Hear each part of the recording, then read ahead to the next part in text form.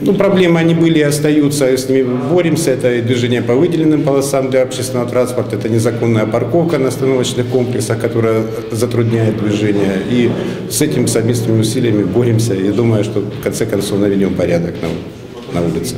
Особое внимание прошу, просим уделять к опыту вождения э, водительского состава, э, проводить водные инструктажи, а также увеличить время на так называемую обкатку маршрута. Зачастую э, встречаются такие случаи, что водители, выезжающие на маршрут патрулирования, ой, отставить, на маршрут э, движения э, не знают, куда ехать. И такие факты имели место быть.